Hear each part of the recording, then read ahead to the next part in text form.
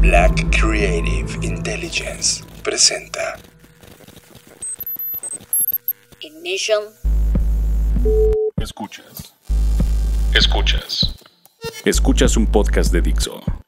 Escuchas Creative Talks. Creative Talks. Creative Talks. El podcast donde hablamos de creatividad, Futuro. innovación, Medios. disrupción Y emprendimiento. con Fernanda Rocha y John Black.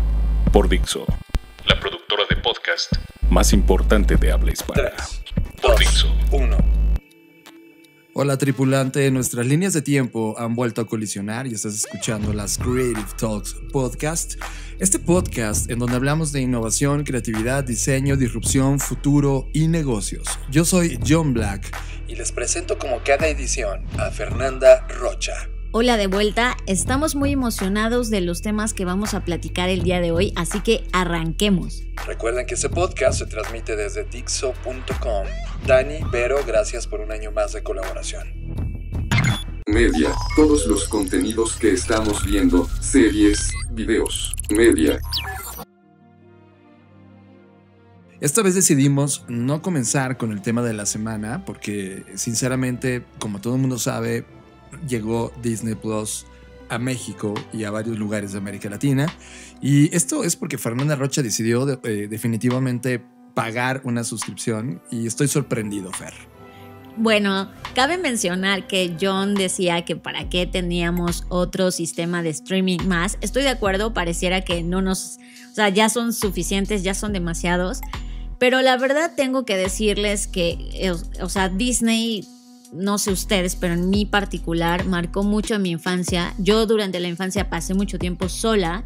Entonces, la verdad es que sí, Disney era para mí un acompañante. Y no me refiero a Disney solo Mickey Mouse o estos personajes, sino todo lo que hacían, los, los programas de aprender cosas. O sea, sí, sí tengo buenos recuerdos respecto a eso. Entonces, esto me pegó durísimo en la infancia, en la nostalgia. Y dije, no, quiero explorar y quiero ver qué ha hecho el gigante de contenidos y pues ya lo contraté, me valió y la verdad es que fue una grata sorpresa, no solamente por lo obvio de Mandalorian, que también es muy buena y nosotros como fans de Star Wars, por supuesto que nos encanta, sino también por el encontrar nuevos contenidos más allá de todo el catálogo que, que es como el clásico de Disney mi intención era explorar qué es lo que habían hecho de nuevo, qué cosas habían creado, etc. Y nos topamos con una gran, un gran documental que se llama Walt Disney Imagineering. Eh, y ha sido una... Es, es, no sé cómo describirlo, es, es una historia que parece de Disney para Disney, es decir, como que ellos mismos se hicieron esta historia a sí mismos para recordarse lo grandiosos que son pero también es para el público en el sentido que te dejan ver cosas que quizás siempre han estado en el anonimato o en, el secre en, el, en la secrecía de Disney, de cómo funcionan sus parques, de qué es lo que pasa dentro. En el detrás de la magia, ¿no? Exactamente. Y eso es justo lo que vas a ver acá. Es, es un documental que, que, que aborda desde el punto de vista no solamente eh, narrativo y me sorprenden los 50 años de metraje acumulados ahí, que también eso es como, wow, documentaban todo y eso es una gran lección para todos. Pero también desde el punto de vista creativo, tan solo el decir este nombre de que existe un departamento que se llama Imagineering, que junta la imaginación con la ingeniería, te das cuenta que Disney, Walt Disney, hablo de, del creador, eh, no solo era una persona eh, creativa o, disruptiva para su tiempo, sino era alguien que, que, entregó su vida por un sueño que tenía, que muchos podríamos criticar por todas las cosas que hubo detrás, que por supuesto no cuentan en el documental sobre las pagas, las jornadas interminables y todas estas cosas como de eh, demandas salariales y de empleados que tuvo. Pero más allá de eso, el hecho de que podamos ver ese behind the scenes, como lo decía John, me parece impresionante y me parece, sobre todo creo que algo que me puso a reflexionar, que no había podido reflexionar antes, es que Disney hizo mucho, o sea, hoy que veo los robots o todos estos autómatas o, robots antropomorfizados, creo que Disney siempre llevó la delantera y todo lo que te van contando te habla de este ímpetu de innovación y de lo que cuesta innovar en una empresa como Disney. Tienes razón. Eh, yo la verdad agradezco que hayas pagado por este servicio más de suscripción. Sinceramente, o sea, a pesar de que estás leyendo continuamente sobre temas de innovación, que estás documentando procesos, que estás viendo cómo las compañías más importantes del mundo dan estos saltos, de repente se te olvida que hubo compañías atrás y pensamientos y hombres como Walt Disney que estaban pensando cosas increíbles. Y esta, esta síntesis de imaginación con ingeniería es súper es, brutal. O sea, cuando, cuando analizas la historia y estás hablando de los 50, o sea, cuando Walt Disney creó Walt Disney Imagineering dentro de una compañía que se llama Web Enterprises, que era una organización, primero, independiente, o sea, es como, a ver, está Walt Disney y Walt Disney tiene su modelo de negocio, pero creó un grupo de innovación, o sea, hoy estamos hablando con compañías que dicen, ay, no sé cómo innovar, y es como, a ver, crea un grupo de innovación que no estrese el modelo que tienes hoy en el presente. E-, él, lo hizo desde los 50, creó Web Enterprises y su objetivo era poder dar servicio, creatividad, innovación, construcción y gestión del patrimonio creado por Walt Disney. Y esa parte empujó hacia adelante temas de robótica, empujó hacia adelante temas de arquitectura, de ingeniería, de tecnología, de, actual, de, de, optimización de recursos, de automatización y todo este pensamiento que definitivamente no iba a nacer desde Walt Disney como compañía, sino que tenía que crear este brazo de innovación que lo lograron. Y, y estoy de acuerdo contigo sentarte a ver este trabajo que, como tú dices, se fue documentando desde 1952. O sea, eh, pasaron 70 años, Fer, un poquito menos de 70 años, 68 años, para que este documental se lograra. Y está eh, filmado, la directora es esta chica... Eh, Leslie Iwerks, que por cierto ella es hija de uno de los co-creadores del mítico personaje Mickey Mouse. Entonces, por eso les decía que es un, es un documental de Disney para Disney. O sea, está hecho en casa con una visión, sí, muy positivista, es decir, como les decía al inicio, no te van a contar los secretos ocultos de Disney, ni sus denuncias, ni las demandas, ni, o sea, toda la parte dark no está ahí, pero sí está la parte en la que puedes ver los procesos creativos, que para mí eso es lo más valioso, o sea, eh, eh, el ver un proceso creativo de cómo construyen un parque, pero no solo pensado en el parque per se, sino todo lo que hay detrás, los robots. Y, pensemos, y eso es algo que se nos olvida, que todo esto lo crearon cuando no había internet, no había todo lo que tenemos hoy, no había máquinas, no había computadoras. Entonces todo era tan artesanal, tan a mano, tan mecánico y en el mejor de los casos, las, las máquinas que existían para mover a estos animatronics, pues eran literal de estas máquinas que tienes que conectar y desconectar cables porque no había un proceso digital de esto. Y, eso es lo que me parece sorprendente. Eso es algo brutal. O sea, cuando te das cuenta de cómo nacen los animatronics, que se utilizaban para distintas eh, atracciones de todos los parques que iban pensando.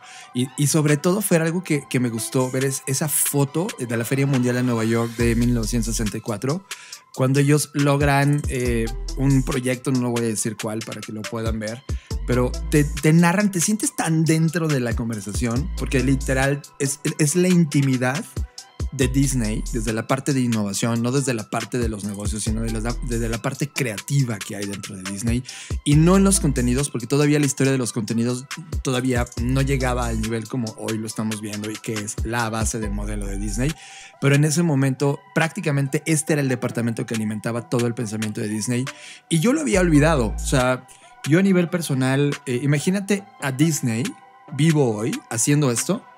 No, con sería toda la plataforma. O sea, sería mucho más. No me extraña que haya rumores de que está criogenizado, porque viéndolo en, su visión eh, que tenía, muy futurista, muy de la utopía, eh, el haber creado Tomorrowland, el haber estado en la feria, o sea, todo lo que él pensaba era para un mundo que él no iba a poder ver. O sea, eso también me sorprende. Él, él, estaba consciente que nada de lo que él estaba creando lo iba a poder ver. Y eso, eso está cañón, porque es desprenderte de. Es como.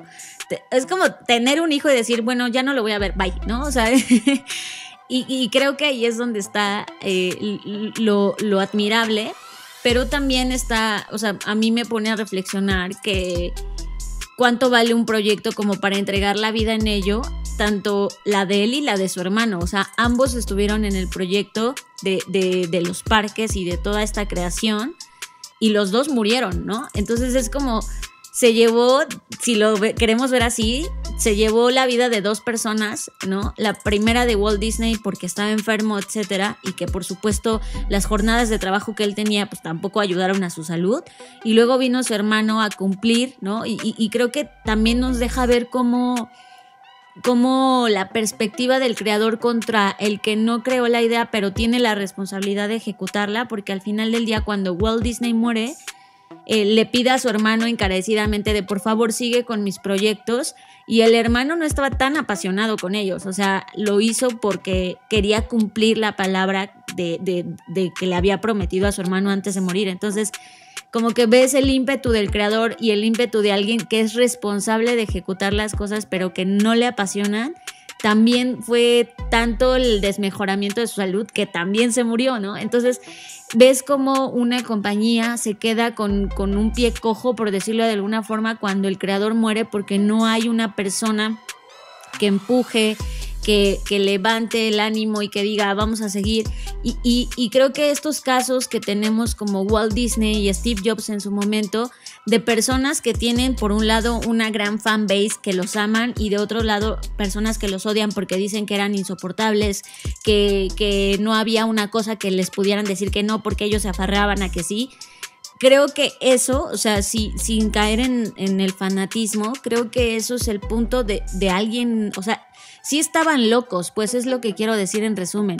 Y, y hay que estar loco para hacer algo así, o sea, siento que una persona totalmente cuerda no podría dar a luz un proyecto tan grande, un proyecto con tanta trascendencia, porque más allá de, del eslogan del lugar más feliz del mundo, o sea, te das cuenta que detrás de eso hay una logística impresionante para que tú como espectador, tú como usuario de esta experiencia, no te des cuenta de toda la mierda que pasa atrás y disfrutes de algo que para ti es un escape y una salida de la realidad. Que eso también es algo que se discute alrededor de Walt Disney, ¿no? Que dice, güey, es que tú lo que hiciste es como drogar a la gente para que se olvidara de los problemas. Pues sí, al final del día todos los parques y las cosas de entretenimiento eso son. Son un escape de la realidad. Las mismas películas, las cosas que consumimos son un escape de la realidad, ¿no? Y de eso ya podríamos hablar más adelante, pero el punto es, no puedes estar totalmente cuerdo y hacer algo así. Tienes Sí. que estar loco. Tiene que haber algo en ti que está, que está roto, que está quebrado, que está descompuesto, que está inconforme.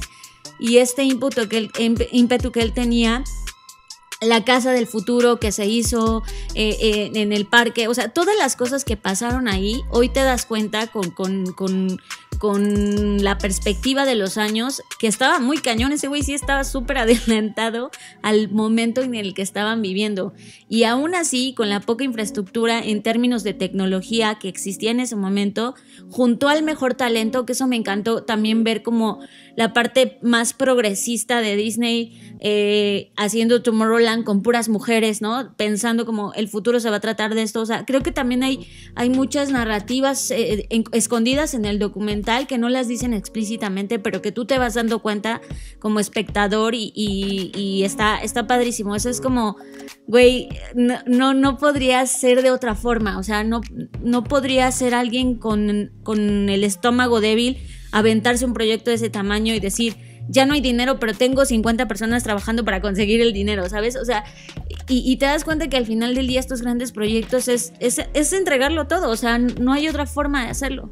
100%. Y, y mira, vo- voy a decir una cosa desde el punto de vista de no fan de Disney. Yo no crecí con Disney. O sea, mis padres no me ponían Disney, no tenía los DVDs, no tenía los beta o VHS, no, no había. Había unos pocos, el Rey León, por ejemplo, ¿no? Eh, muy pocos títulos, comparado con otras personas que literal le compraron la, la- Como yo. y tú tienes la colección Disney entera y cada vez que salía algo, pues ahí estaba.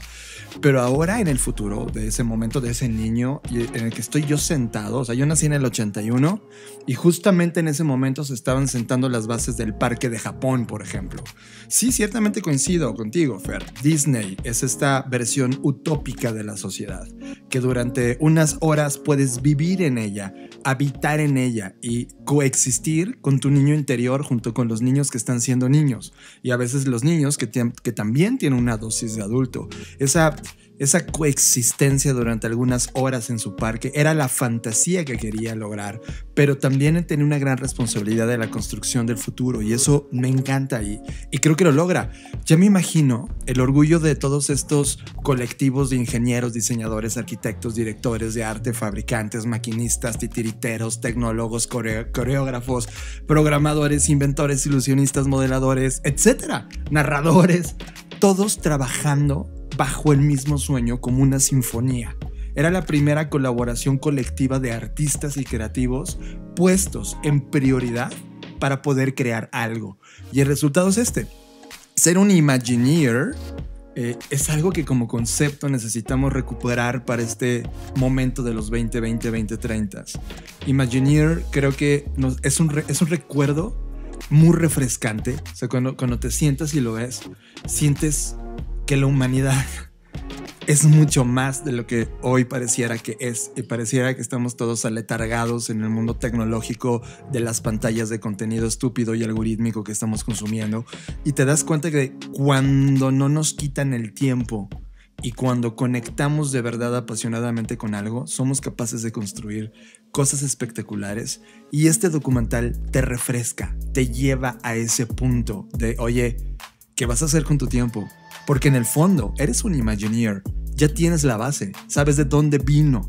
Y creo que ahora este momento, a mí, eh, en verdad te lo digo, me refrescó, me refrescó el alma y me dijo, fuck, tenemos que recuperar esta idea de Disney y traerla al 2020 y a partir de esta filosofía, de esta zona de trabajo, de esta colaboración, de este no me interrumpas, poder construir las bases de lo que sigue. Me encantó, Fer. No, de hecho, solo para agregar una cereza a este pastel, eh, hay quien dice que había, recuerden que al mismo tiempo de que está ocurriendo eso, pues está desarrollando tecnología en la NASA, ¿no? Y mucha gente dice que había más eh, tecnología en The Haunted Ma- Mansion, Mansion, que era la mansión encantada, sí. que en la propia NASA. Y, y está cañón eso, es como, eh, de no, no lo puedo asegurar, pero de repente cuando estás viendo el documental lo puedes creer, es como, claro, o sea, cuando lo vean se van a dar cuenta de la tecnología que tenían tan adelantada, tan anticipada, que no dudo que sí pudieron alcanzar o rebasar en algún momento la tecnología en la que se estaba desarrollando en la NASA. 100%. Y es, es- esos bombazos, ¿no? Cuando era 1970, cuando estaba platicándose del proyecto de la Casa Embrujada y a hoy, dices, no inventen, podríamos haber hecho tres mil cosas. Creo, Fer, que la manera correcta de poder eh, ver si invertiste sí o no en un buen servicio de suscripción es que al menos una vez al mes veas un contenido de estos que te revientan la cabeza. Y en este caso, nada más por ver este documental de Imagineering, vale la pena la suscripción de, de- de Disney Plus. O sea, hoy siento que, que solo por sentarme a ver estas horas, este documental, ya pagó el mes completo. y, y es que equivale a esto, es como tú pagas eso para ir al cine, cuando tenías que ir al cine para ver una buena película. Es exactamente lo mismo, es como, de, de hecho es más barato. Y solo ibas a sentarte dos horas o hora y media a ver una película. Y acá es un documental. Cuando te das cuenta que existe este contenido, ya, o sea, yo les digo, si ustedes no tienen la cuenta, y ojo, no me está pagando nada Disney para decir esto, pero creo que Disney Plus, al menos en esta intersección, ya pagó lo que tenía que pagar. Y yo ahora he creado un doppelganger digital, amante de Disney, que, que sinceramente cuando ves ese tipo de, de documentales y de contenido es como, wow, sígueme sorprendiendo.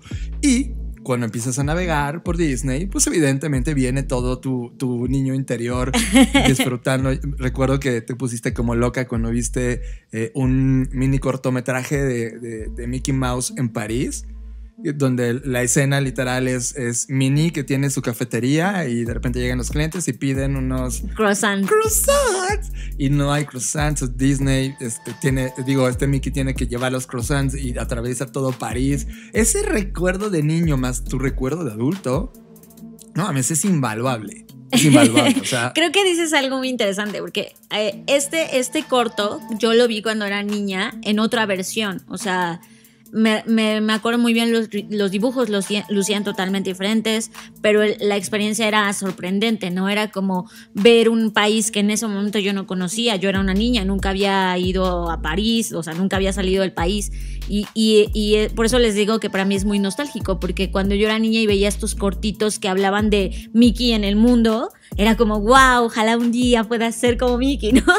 Y de repente tienes razón lo que dices, John. Hoy que eres adulto y que ya, o sea, en mi caso ya tuve la fortuna de poder ir a París, entonces ya tengo un referente más de eso y de repente colisiona con mi yo de niña de, sí, tienes razón, Es una es una bomba, distinta. es una bomba, es una bomba, sí, es un tema totalmente. de nos- es como nostalgia redescubierta. Sí. Porque, porque estás, estás yendo a un recuerdo tuyo de contenido del pasado que fue significativo, pero que ahora le estás dando una reconcepción por completo porque tienes la referencia de la experiencia que has acumulado todos estos años en tu vida y en este planeta. Y porque probablemente ya estuviste ahí donde Mickey ya atravesó en su motito para llegar con los croissants. con Minnie. Es increíble ese recuerdo. Otro momento que, me- que me, que me encantó de la navegación Edna Moda. Ut, Etna, modas y otra, ¿no? ¡Wow! Eso es, hijo de su madre. O sea, de, llegada, o sea, soy súper fan de la historia que hay detrás de Los Increíbles. Eh, algún momento fue portada de Wired y me clavé cabrón leyendo toda la historia detrás de Los Increíbles. Y de repente, uno de los personajes, aparte de Jack, que es increíble, y hay un cortometraje de Jack que sale, sí, en varias ediciones también, DVDs, etcétera. Pero meterte este contenido que no fue esencialmente contenido masivo que probablemente ni siquiera habías conocido. Yo no sabía de este pedacito de cortometraje de Edna Modas.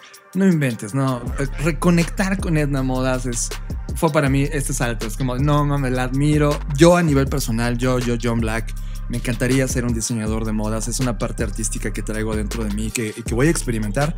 Y Edna Modas es maravillosa y ves el proceso creativo de Edna Modas tratando de diseñar para Jack Jack eh, el traje. Y pues Jack Jack es un súper cabrón lleno de poderes y, y- y esa conexión mola. O sea, está increíble, me encantó. Eh, wow. Totalmente. Y creo que aquí, solo para cerrar, es, es el tema de. ¿Entiendes por qué Disney es el monstruo de contenidos? Y me, y me parece un.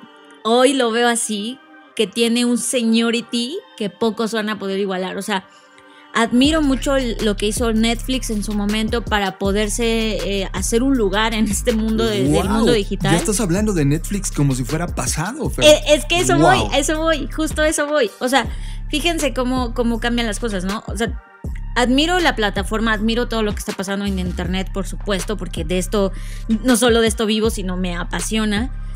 Admiro esa parte.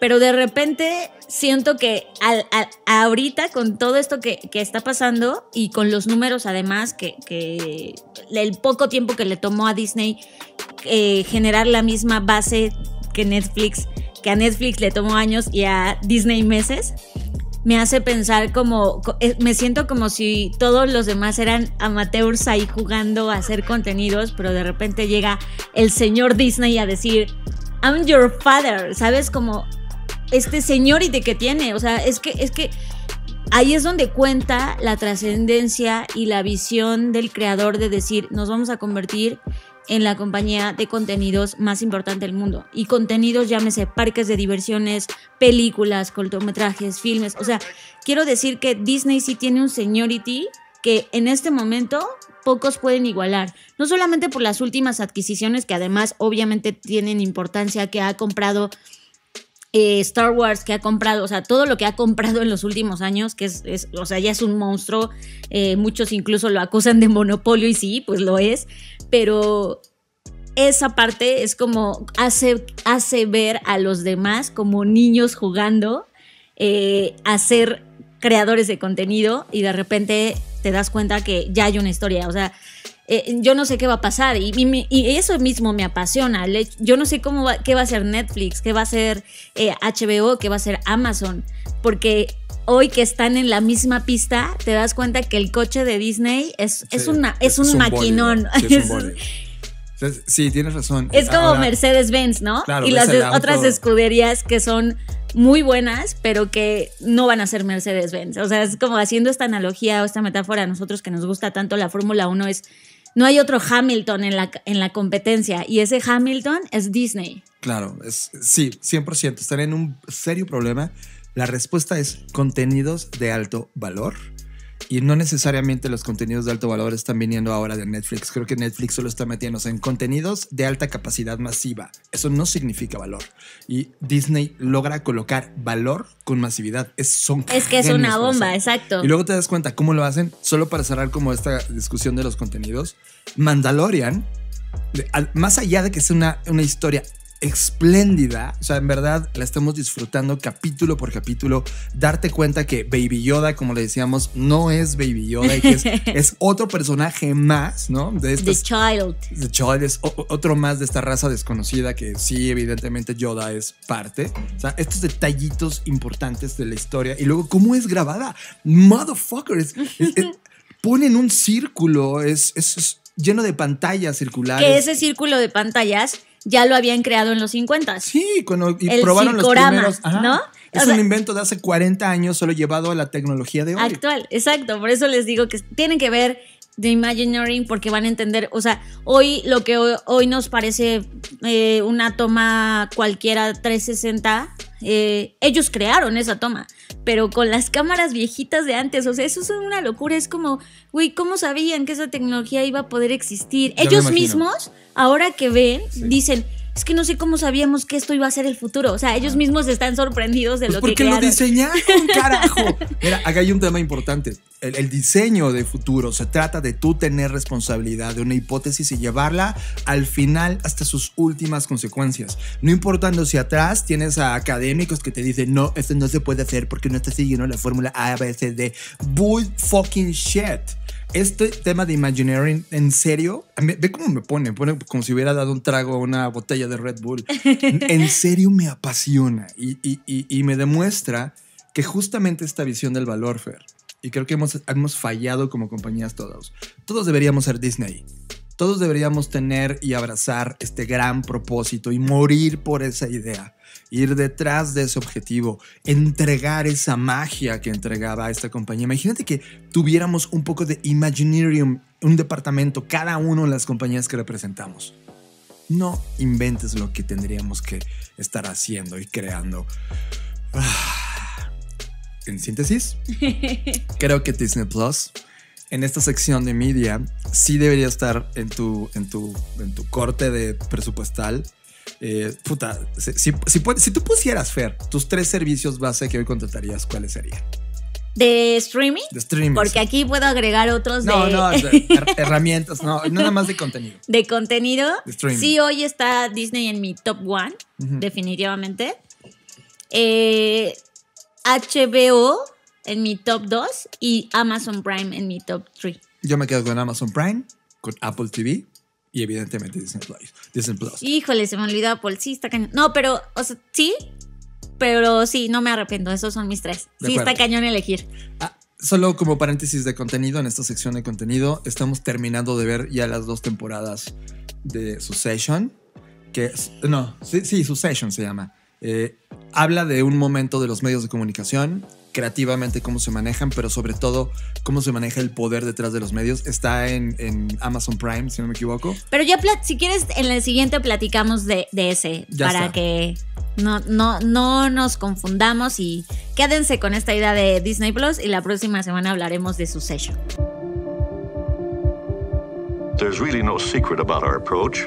We keep moving forward. We're always exploring and experimenting. We call it Imagineering. Walt set a standard early on with the Imagineers. There was a standard that surprised people, so that they left thinking, wow, how did Disney do that?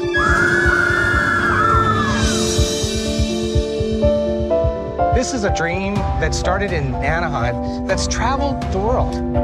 We've come a long way through the years, haven't we? Unbelievable. I such a pride in being able to create a place that brings that much happiness to people. Anytime you take people behind the scenes, you see the imperfections, the trial and error, or the experimentation. Behind all of these curtains are different projects going on. This is the cutting edge of the technology of Imagineering. About it. Is it true? There is this underground city, and I wonder what's down there. I don't know if you've ever walked through the hallways of a Star Destroyer before. Oh, we're in the inner sanctum of the Disneyland Matterhorn. Nobody ever gets the chance to see us, only a special few.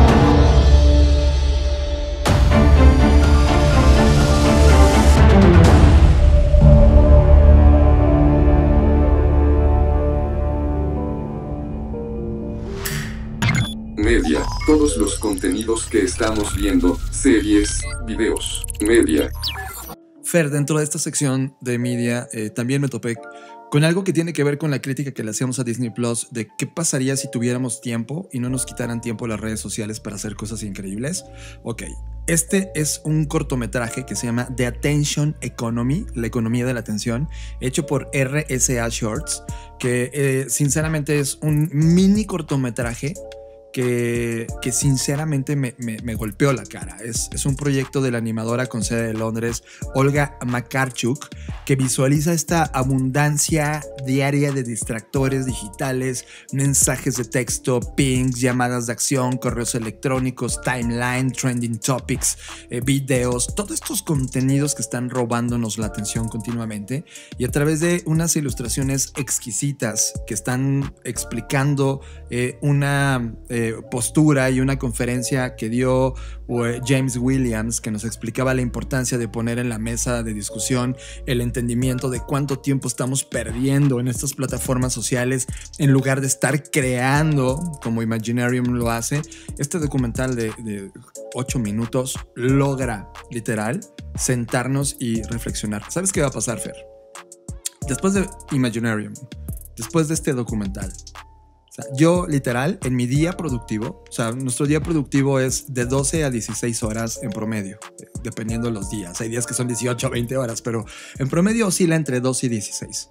Al menos 10 horas de esas 12 y 16 voy a apagar mis redes sociales. O sea, ya en mi tablet ya ni siquiera tengo redes sociales. Voy a apagar mis redes sociales y solo me voy a dar eh, tiempo, una o dos horas al final de mi día o muy al inicio de mi día para estar atento de si me, se me escapó algo, porque yo ya no quiero que estén robando mi atención, ya no quiero ser parte de este algoritmo. Los voy a dejar con este audio de James Williams que nos explica justamente su conferencia Datation Economy, cómo esta captura del deseo moderno de desplazarse sin cesar y agarrar un dispositivo cuando hay un momento de inactividad nos está robando una oportunidad Recuerden, James Williams es ex empleado de Google y critica las formas en las que las empresas tecnológicas están aprovechando esta distracción humana y están convirtiendo esa atención en una mercancía. Los dejamos con James Williams. I think there's something very profound and maybe irreversible happening to human attention in the digital age. I think it's more than just distraction, and it's more than even just addiction. It could actually be the defining political and moral challenge of our time. I want to start with kind of clearing the ground with an observation that Herbert Simon made in the 1970s. When information becomes abundant, attention becomes the scarce resource. This is an observation that I think we're only just starting to understand what it means for human life and society. But this whole environment that has emerged in the last several years to, to compete for our attention in scientific, systematic ways is often called the attention economy. If you think about the goals that you have for yourself, your life today, this week, this year, they're probably things like I want to spend more time with family, I want to learn how to play the piano, I want to take that trip I've been thinking about and reflect on my life. You know, these are real human goals. But if you look at the goals that technologies have for us, they're not usually these things. They're things like maximize the amount of time we spend with them, time on site, or the number of clicks, the number of times we can scroll or tap, the number of page views or ad views, things like this. There's a deep fundamental gap here between you know, the goals we have and the goals our technologies have for us. And so I think there is this kind of inconvenient truth that we either kind of ignore or maybe don't know about a lot of the time, which is the attention economy by and large is not on our side.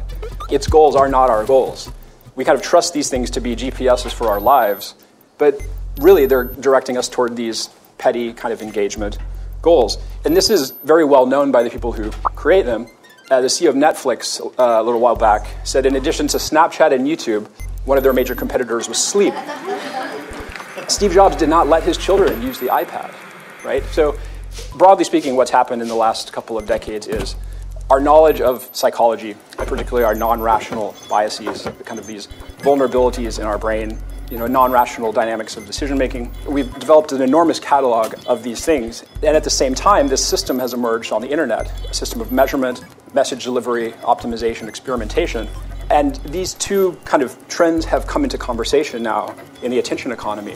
What this means now is that this industrial scale persuasion is now the primary business model of our first really major global communications medium.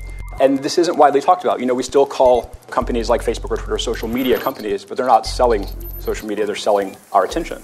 But I think another factor that makes this so urgent, because this power to shape people's attention, to persuade people toward one end or another, is increasingly centralized in the hands of just a few people, a few companies in one state, in one country.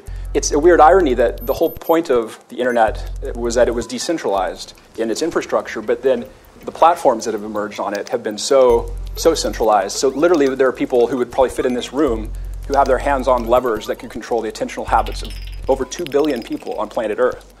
What I realized when I was, I was working at Google uh, is looking across the industry at the state of the attention economy and how little it was being talked about in society, and then feeling its effects in my own life, honestly. That, you know, there was more technology around me than ever before, but it was harder somehow to do what I wanted to do. I felt we had made the same mistake that Aldous Huxley talked about uh, when he was uh, lamenting that defenders of freedom in his own time had failed to take into account man's almost infinite appetite for distractions. I want to suggest that, you know, if we're at all serious about promoting freedom or autonomy in the digital age, it's really urgent for us to look at this situation and to, to start taking into account our infinite appetite for distractions.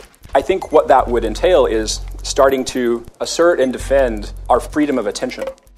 Tema de la semana. Este es el tema que nos robó totalmente la atención. Tema de la semana.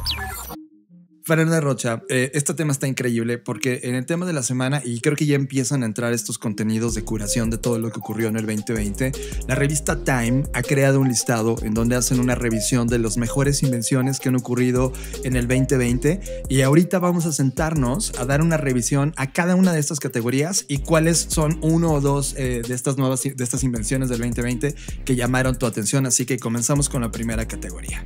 La primera categoría es accesibilidad y híjole, está cañón, está cañón, pero si tuviera que escoger una, eh, hay una silla de ruedas que está increíble, eh, me parece, no, no solamente en el diseño, que está súper padre, sino todo lo que crearon, eh, bueno, en esta empresa se llama Lucy y todo lo que hay alrededor y, como que la colisión del mundo de los videojuegos porque tiene un joystick que permite que se mueva, más la tecnología, más la modificación de la silla para que sea ergonómica.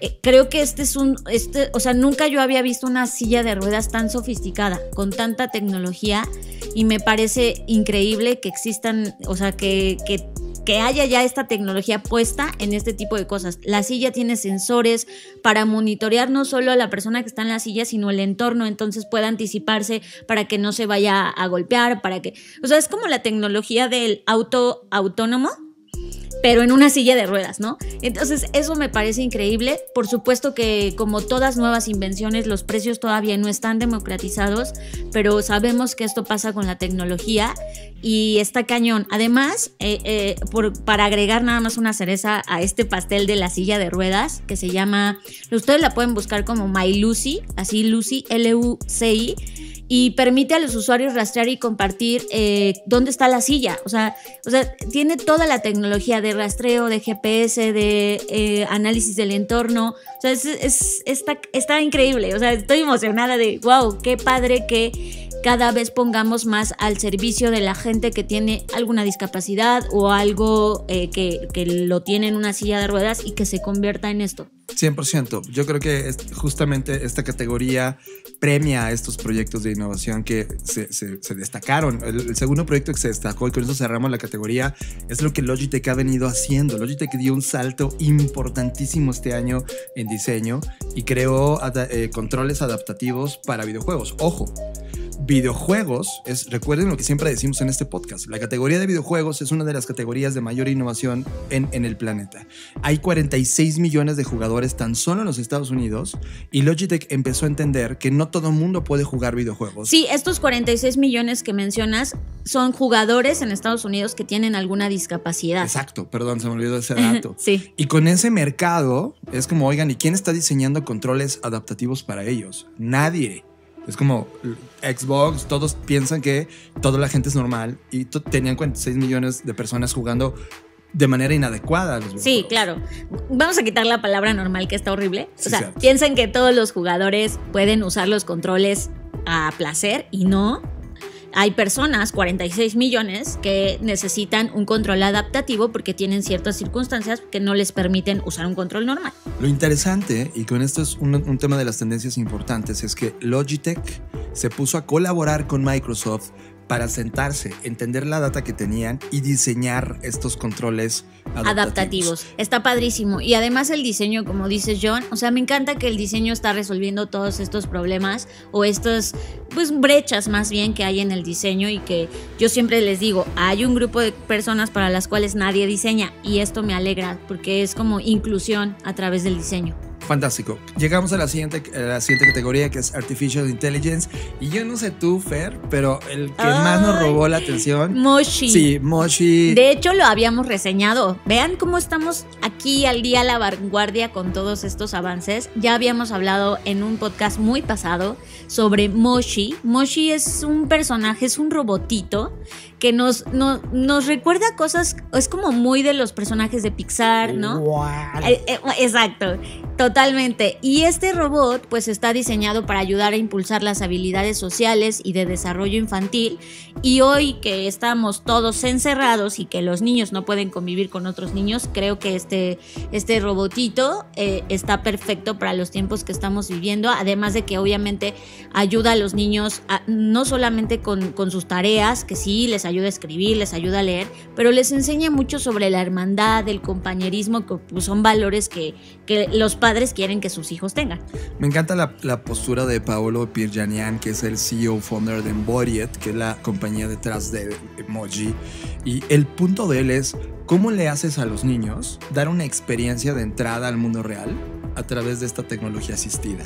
Y la inteligencia artificial te está enseñando esta flexibilidad que tiene de cara con ellos. Eh, el dispositivo es increíble, o sea, yo no siendo un niño quiero un Moji ya. O sea, y, es esta eh, necesidad del hombre de antropomorfizar todo, ¿no? Es un robot humano, chiquitito, con cara de niño, ¿no? Que, que habla increíble. Ya lo habíamos res- reseñado, como tú dices. Y pues se convirtió en una de las innovaciones más importantes en inteligencia artificial. Mira, no me quiero ir de esta sección sin hablar de algo que a mí me llamó muchísimo la atención, que es el refugio para abejas. Ustedes saben la situación que estamos, 40% de las abejas mueren cada año como resultado de todo lo que está pasando, el cambio climático, los pesticidas, o sea, bueno, ya sabemos, ¿no? Y ahí es donde entra este, este invento que se llama Big Wise. Es una colmena impulsada por inteligencia artificial. Está usando robótica de precisión, visión por computadora e inteligencia artificial. Y aquí puede albergar hasta 2 millones de abejas. Entonces están monitoreadas 24/7 y pues aquí se pueden analizar eh, y cuando alguna de las colmenas está expuesta a parásitos o, muestra temperaturas irregulares, los sistemas responden rápidamente aplicando algún tipo de tecnología para poder duplicar la capacidad de polinización. Eh, O sea, es como una colmena inteligente, ¿no? Y de por sí, ya el, eh, no sé ustedes, pero ya ver una colmena me parece una cosa de la naturaleza impresionante. Ahora pensando a eso, agregarle inteligencia artificial y otras tecnologías, es como me da un poco de esperanza de no se van a morir las abejas y eso tiene que ver con permanecer nuestra existencia como humanos. Claro, porque, ojo, el- la abeja es el ser vivo más importante de este planeta. No somos nosotros con toda la tecnología y con todo lo que hemos hecho, es la abeja. Si la abeja deja de existir, empezamos a morir como bichos, todo lo que estamos rodeando la cadena de la abeja, los humanos en ese inter. Entonces me gusta que la tecnología también esté ayudando a resolver estos problemas. Y también había, había un proyecto mexicano que estaba haciendo construcciones específicas para abejas para poder volverlas a, a- incentivar, porque eh, han tenido, por distintas causas que todavía algunas de ellas siguen siendo desconocidas, han tenido comportamientos en los últimos cinco años bastante erróneos. O sea, nunca habíamos visto ese comportamiento en las abejas y este proyecto me llena de esperanza. La siguiente categoría es la realidad aumentada y virtual. Yo me quedo con uno, Fer. Yo tengo Ya sé, el de AR Guide Surgery. Sí, Sí, ya sé cuál es. Es el de las, la cirugía vía remota a través de estos lentes de realidad virtual.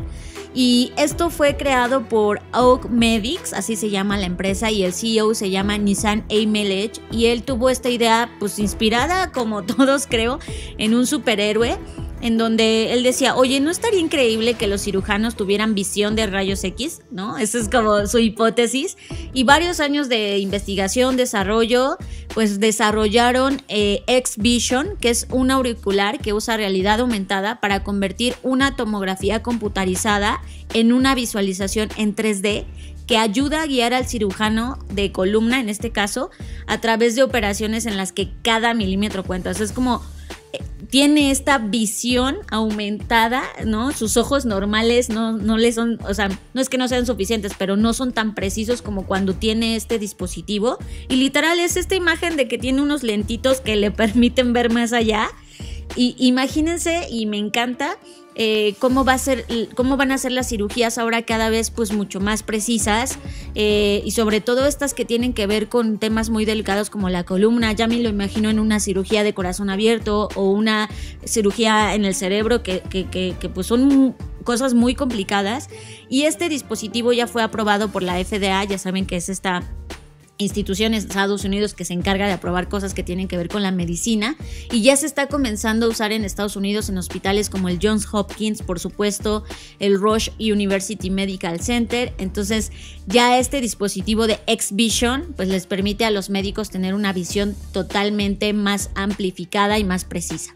Yo creo que eh, la Academia de Fenómenos de ex Javier, ¿no? Ya debe estar muy, muy contenta con este avance. Vámonos a otra categoría, que es la categoría de belleza. Esta está difícil, Fer. Yo creo que Dyson, es que de verdad, es que Dyson ha hecho cosas increíbles. Dyson es esta marca que invierte cañón en investigación y desarrollo. Y aunque este invento no es tan benéfico como los otros que hemos hablado, que hablan de, de, de, de discapacidades y todo esto, esto es una simple plancha del cabello, pero lo, lo realmente interesante es que... Eh, Dyson ha encontrado la forma de, potenciar este tipo de dispositivos que, pues una plancha de cabello es algo como simplista, por decirlo de alguna forma, y de repente ellos hacen estos avances en donde encuentran nuevos materiales, nuevos sensores de temperatura, nuevas cosas que permiten que algo tan común como una plancha tenga total tecnología, ¿no? Y que no te queme el cabello y que no te lo frisee. Las mujeres aquí me van a entender. Digo, no sé si los hombres también se planchan el cabello, pero bueno, en términos generales, quien sea que se haya planchado el cabello sabe que a veces o se te quema, o se te frisea, o se te hace horrible, y esta plancha es como que nada más le falta que te lo planche automáticamente, porque está casi este, hecha para eso, ¿no? Y también creo que algo que se está poniendo cada vez en tendencia y que hemos analizado con uno de nuestros clientes que está en este rubro, pues tiene que ver con estas cremas que se adaptan. Es decir, eh, este invento eh, es, es, algo que está, es una cremita eh, para el cuidado de la piel, pero específico para el clima. Es decir, si tú, tú, vives en un ambiente tropical, pues se adapta a ese clima cálido. Si vives en un ambiente en el desierto de Sonora, pues se adapta al clima seco. Y creo que este tipo de productos adaptativos que ya lo veníamos platicando van a ser, o sea, van a seguir eh, explorándose. Esta empresa se llama Pormoa, que son fórmulas en, basadas fórmulas en el clima. Como les decía, eh, pues depende en el clima en el que tú estés, pues son cómo se adaptan a tu piel. Está increíble eso, o sea, me parece un nivel de personalización o sea, muy, muy, muy extremo, o sea, ya muy avanzado. Pero ahí está, y está pasando, y está pasando ahora, y está en este listado de A mí los también inventos. me vuelve un poco loco porque estas, estas señales las empezábamos a ver en Corea, donde hay un avance mucho más, ra- más, más rápido, porque la gente está empezando a utilizar estos productos de belleza donde ocurren tres cosas. Uno, el comportamiento. Dos, la información donde tú estás, como en este caso temperatura, localidad, altitud. Y tres, cómo el algoritmo detecta... eh, qué tipo de, color de piel tienes, cuál es tu edad y, con esta data tuya va personalizando cada uno de los productos. Muchas compañías están entregando este tipo de cremas, pero también, por ejemplo, Man- Many está haciendo eh, personalización de manicure en manos para ponerte uñas personalizadas y humectarte las manos, etc. Esto, este tema de, eh, de productos adaptativos van a empezar a ser eh, una tendencia importantísima en todo 2020 y 2030. Vamos a la siguiente categoría que me encanta. Esta es una de mis favoritas y tiene que ver con el momento que estamos atravesando. La, la categoría se llama conectividad y el producto se llama Go Live Cast, que es hacer un streaming de manera superior. Eso es como llevar el streaming a otro nivel Lo y vaya, vaya que nos hace falta, John. Sí, lo vi. Además el diseño está increíble. Es de Roland. Es un dispositivo eh, tipo como un control de mando, ya Claro. saben, estos cuadritos que tienen muchos botoncitos. Bueno, pues es, haz de cuenta algo así, se llama, eh, como dije, Go Live Cast y lo que hace es que asegura que tus transmisiones en vivo se vean impecables. Es una sala de control miniatura. Cuenta con entradas de micrófono y también de instrumentos, controles para cambiar entre cámaras de teléfonos inteligentes. Eh, también tiene un, eh, puedes enviar directamente desde ahí a Facebook, YouTube o donde sea que estén tus espectadores.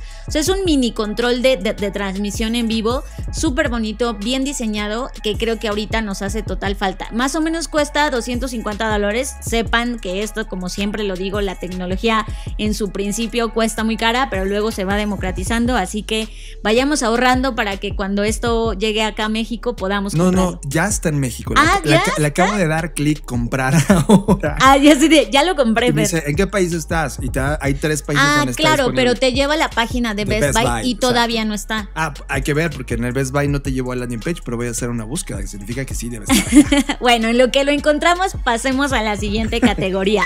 Electrónica de consumo. Y aquí es una de las más competidas definitivamente de toda la categoría. Hay, un, hay todo un evento del Consumer Electronic Show en enero donde se lanzan estas cosas. Ah, creo que me voy a quedar, Fer. Mm. Definitivamente, es- esto me faltó siendo niño y ahora sería una locura y sí lo quiero. Se llama A Glimpse of the Galaxy. Lo que hizo Miller, el equipo de Miller Engineering, creó este proyecto llamado DS1 Planetarium. Que ustedes seguramente han visto estas películas donde proyectan y en el techo de tu casa, cuando apagan la luz, pues se ven las estrellas. Pues ahora imagínate eso en altísima definición.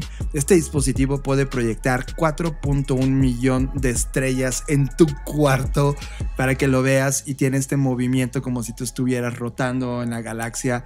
Ah, ahora sí que este Night Sky es posible y me encantó. Nada más por ese detalle de dormir bajo las estrellas, yo me quedaría con este dispositivo.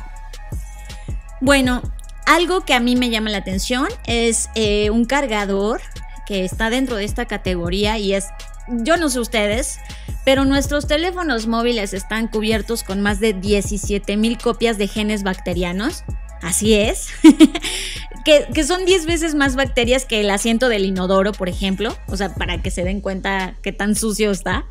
Y Oblio, que es este cargador, resuelve este problema porque al mismo tiempo que carga tu dispositivo, al mismo tiempo lo, lo desinfecta, digámoslo así. Entonces usa una luz VC para desinfectarlo, matando el 99% de las bacterias en la superficie en solo 20 minutos. Eh, no ha sido probado para determinar su efectividad contra COVID-19, pero aún así se agotó cuando salió al mercado por 80 dólares, porque pues la gente decía, pues sí, si elimina las bacterias seguro también sirve para este momento, ¿no? Me parece interesante, creo que van a ser el tipo de dispositivos de, limpieza que vamos a necesitar, sobre todo los dispositivos móviles, porque pues, los usamos todo el tiempo. Y por eso me llama la atención y está padrísimo. Se llama, eh, como les decía, Oblio y 80 dólares por si se ofrece, ¿no? y el último que quiero hablar sobre esta categoría eh, es algo muy interesante. eh, que, que es el tema de... hay muchos padres que por diferentes situaciones tienen que medicarse. Y uno de los miedos que tienen es que sus hijos encuentren las medicinas, pues las ingieran sin querer, ¿no? Entonces, eh, el, el creador de este invento, que se llama Philip Wilkins, eh, él creó algo que se llama Keep. Es un dispositivo inteligente diseñado para guardar eh, cannabis, medicamentos recetados, cosas que sabes que pues, a los niños les pueden hacer daño. Y este, este dispositivo está bloqueado biométricamente y conectado a una app en tu teléfono. Entonces te avisa si alguien intenta abrirlo y solo tú lo puedes abrir. Cuenta con controles de temperatura, de humedad, porque hay ciertos medicamentos, por ejemplo, para la diabetes que se tienen que guardar a cierta temperatura, etcétera. Y me encanta porque además es un diseño súper lindo, es una cajita literal eh, que, que pareciera un reloj, es decir, es un reloj digital para disimular que adentro hay cosas. Entonces, además de que es un reloj, es, un, es esta cajita, como ya lo dije, lo abres biométricamente y pues está padrísimo así para que ya no tengas el pendiente de que, que tus hijos o tus mascotas se coman tu medicina y bueno, al rato les pase algo peor, ¿no? Ahí está, esos inventos son los de esta categoría. Ahora vamos a una de mis favoritas. ¡Woo! La De categoría de diseño. diseño, sí, brutal. ¿Cuál es el tuyo? Yo ya tengo el mío. Dale. Los Allbirds Tree Dasher. Es, es- Dasher es uno de los proyectos que eh, son consecuencia de lo que ha, ha hecho Adidas, pero otros han inspirado en este tema de poder hacer una industria de la moda y de performance que combine con el medio ambiente. Estos zapatos de correr, eh, creados por los Allbirds Tree Dasher, están hechos casi en su totalidad con materiales naturales, con una huella de carbono estimada en casi un tercio más baja que las zapatillas normales que, que están en el mercado.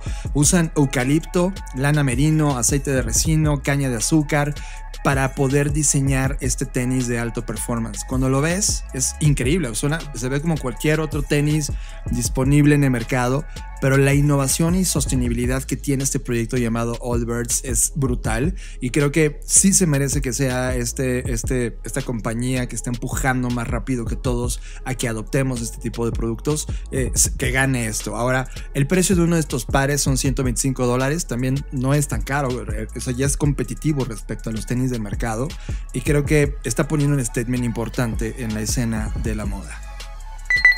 Ay, nos faltan muchísimas categorías. Vamos a la de educación y ahí hay una app que mm, quiero platicar, ya, ya la conocemos, se llama Duolingo, pero Duolingo lanzó una nueva app que se llama Duolingo ABC.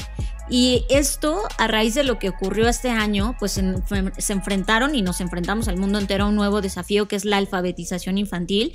Y este Duolingo ABC es eh, un segmento interactivo, como ya saben, como tipo Plaza Sésamo, como de, de ese corte, que enseña a los niños los conceptos básicos de lectura, con diferentes lecciones para que aprendan a leer, escribir, mediante la gamificación que ya había desarrollado Duolingo en su plataforma original de idiomas, pues la llevó ahora para acá y la verdad es que se ha vuelto eh, en una de las aplicaciones más utilizadas en estos momentos para que los niños no pierdan su proceso de aprendizaje de lectura y escritura. Brutal. Y además me, me emociona que Duolingo, desde que se creó, ha sido una de estas compañías que más ha estado en la conversación del futuro de la educación, sobre todo con el tema de lenguajes.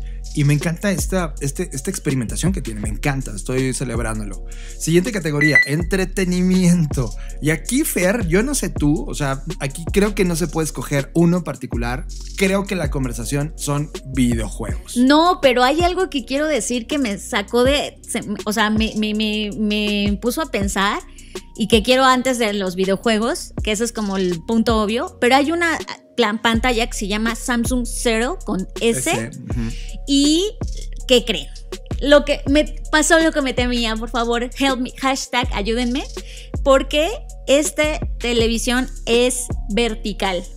Y esto me preocupa, John. O sea, me preocupa muchísimo porque es como, ya todo es historias, ya todo es tan vertical que ya de plano Samsung dijo, vamos a hacer el televisor este, vertical y si bien si lo giras, o sea, lo puedes acostar y ya se ve horizontal, me lleva a pensar lo que ya habíamos pensado tú y yo hace año y medio, dos años, cuando dijimos, las teles van a tener que inevitablemente ser verticales porque todo lo consumimos de manera vertical y voilà, de repente Samsung lanza esta pantalla, el, eh, que se llama Cero, 1499 dólares y ahí está y, y me preocupa. Es, es que, ¿de dónde es Samsung? ¿De dónde es Samsung? Es coreana. ¿Dónde está pasando toda la explosión en el mundo de los contenidos verticales? En Corea. Es muy claro que está ahí. Ahora, en la segunda categoría, fuera de la pantalla vertical, el resto de innovaciones, o sea, ponen a Xbox, ponen Nvidia GeForce Now, ponen Sony PlayStation 5, ponen Animal Crossing, en donde evidentemente la conversación son videojuegos. Aquí quiero poner un poco de, lo que hemos estado analizando eh, ahora que estamos haciendo el documento de tendencias para 2021. Los videojuegos son un salto brutal en los modelos de negocio. Voy a poner algo importante. Tan solo el, el, director de Xbox en el lanzamiento ahora mismo de la consola de Microsoft Xbox Series S eh, definitivamente habla sobre el futuro de los videojuegos y la respuesta es en el futuro de los videojuegos no va a haber consolas. Y ese, ese pensamiento de no va a haber consolas contradice todo el pensamiento que los videojuegos hoy están haciendo, que es vender consolas. Déjenme me explico. El director de Xbox dice, mira, tan solo ve lo que está pasando con los videojuegos en la parte de Apple. La gente, no importa si tiene un iPhone o no importa si tiene una tablet, ellos están jugando un videojuego. En el futuro va a ser seamless, es decir, Tú, tú, no vas a preocuparte si tienes la mejor consola. Obvio vas a buscar la mejor consola si quieres el mejor rendimiento, los mejores gráficos, el mejor nivel de respuesta, etc. Pero la capacidad de jugar cualquier videojuego debe ser una en todo el ecosistema digital. De tal manera que el futuro de los videojuegos es ya no tener consolas, pero sí tener títulos. Y voilà, en esta categoría tenemos a Nintendo Animal Crossing como la entrada del videojuego más importante del año y el que está ganando la innovación del año. Es brutal esta conversación, Fer. Me encanta lo que está pasando y me encanta la siguiente categoría a la que nos vamos a ir, que es la experimental. Uf, ¿cuál te quedas? Con lo que hizo el, MIT, el Media Lab. Ustedes saben que en el MIT Media Lab pues, se desarrollan un montón de inventos y hay uno que se llama eh, Alter Ego. Eh, puede permitirte comunicarte con tu computadora sin tocar un teclado o abrir la boca. Así como lo oyen. O sea, esto ya de, neta sí es el futuro. Para usar este auricular, eh, como lo puedes usar para buscar en Google cosas, pero haciendo la consulta en tu mente. Ajá, así como lo oyen. O sea, no, es, no necesitas escribir, solo es como en tu mente pensar, Google busca esto y, logra hacerlo. O sea, este cañón tiene sensores en los auriculares que leen las señales de que, la formulación envía desde tu cerebro a las áreas que se activaría si lo dijeras en voz alta. O sea, sé que se oye súper complicado, pero bueno, al final del día es este dispositivo se ve súper incómodo, eso sí. Pues, sabemos que estos inventos al principio son así, pero me parece impresionante lo que se desarrolla acá y que, y sí, lo hemos pensado que en el futuro pues ya no vas a necesitar estar escribiendo o teniendo contacto físico, sino se va a tratar de gestos y esto ahora que abre una nueva conversación de pensamientos que lees o que interpretas, me parece así brutal, es como, wow, ya lo quiero. Eh, la, la, interfaz se está probando actualmente en entornos hospitalarios, por supuesto, que es ahí donde, donde empieza todo esto.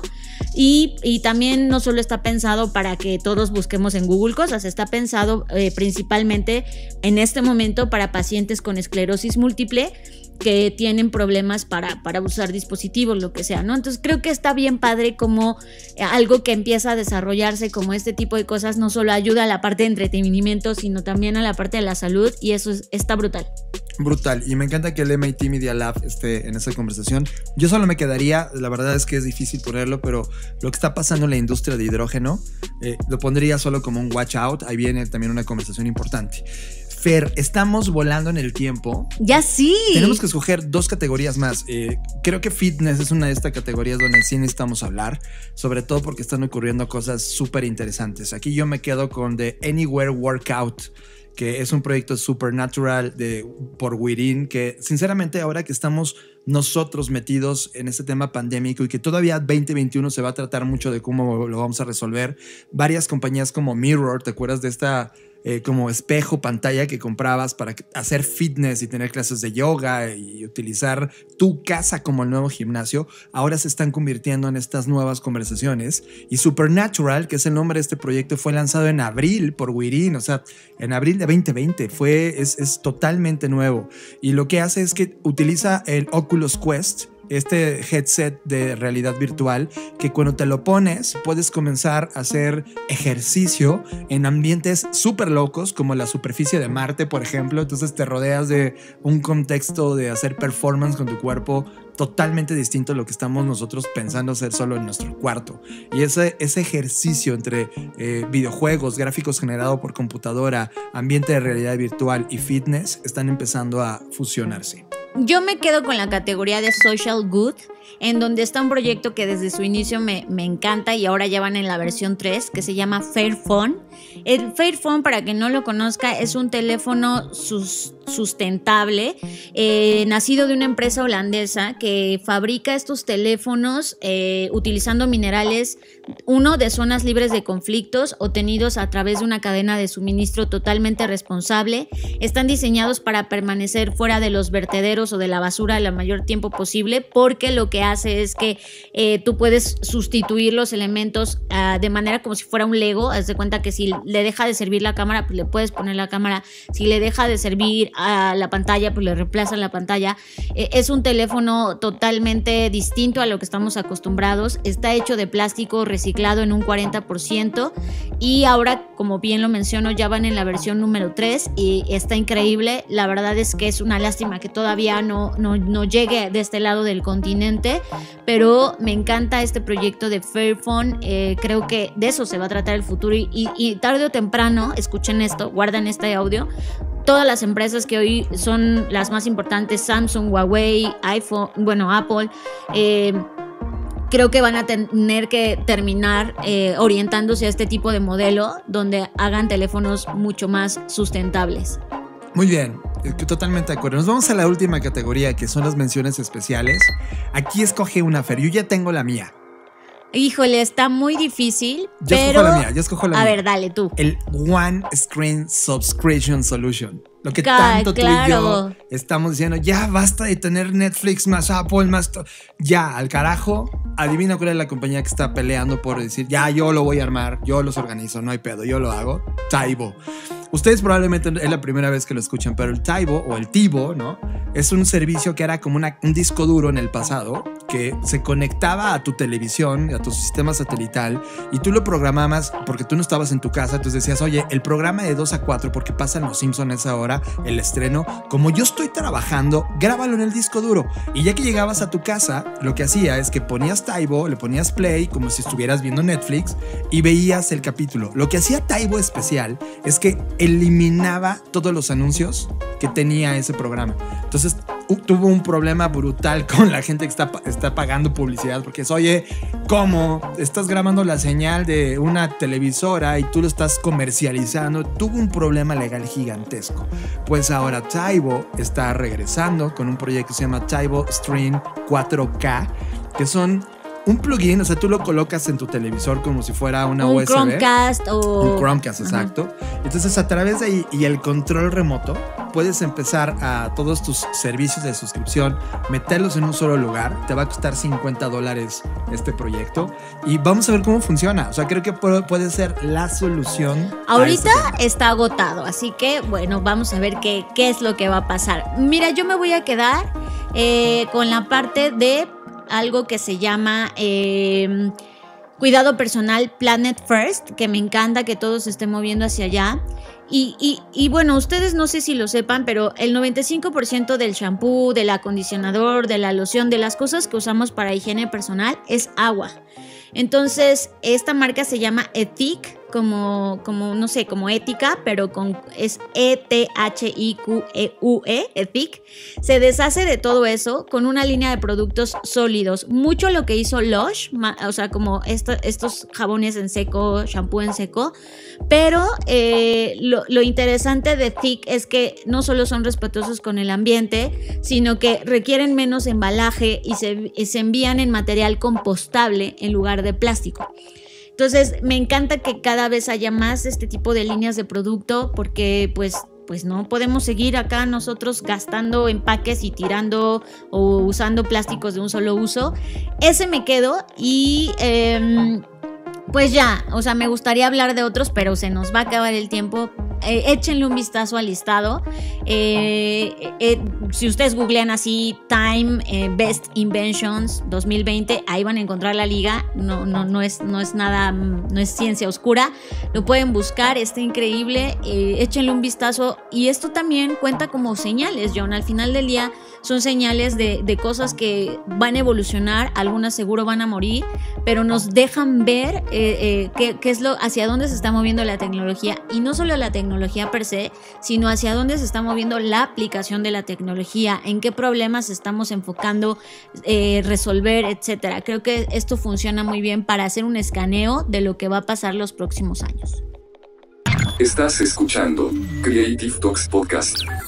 Fernanda Rocha, eh, la verdad es que el tiempo se vuela, conoces este tipo de listados y estás analizando lo que ocurrió en el año. Creo que mucho de eso se va a tratar todo este bloque de diciembre del 2020 para estos, estos Creative Talks podcast.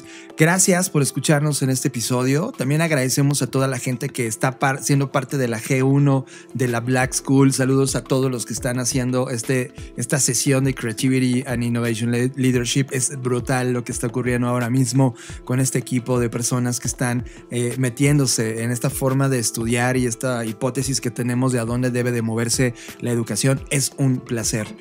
Bueno, ya saben dónde localizarnos, arroba Jonathan Álvarez, tanto en Twitter como en Instagram. Y yo soy Fernanda Rocha, a mí me pueden encontrar como arroba Fernanda Roche. Y también ya estoy en TikTok, así que allí escríbanme, mándenme un mensaje, un like, lo que sea.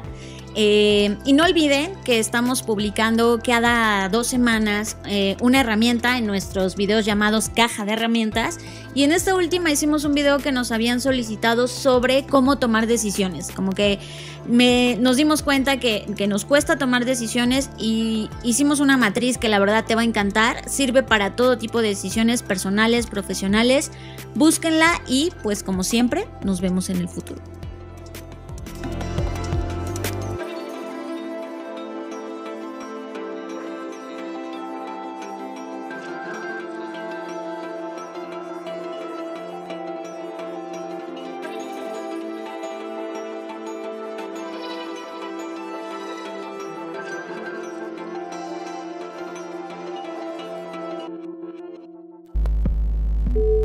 Dixo presentó.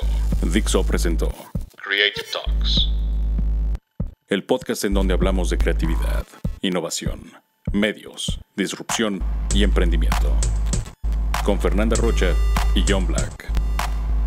Por Dixo, la productora de podcast más importante de habla hispana. Nos escuchamos en el futuro.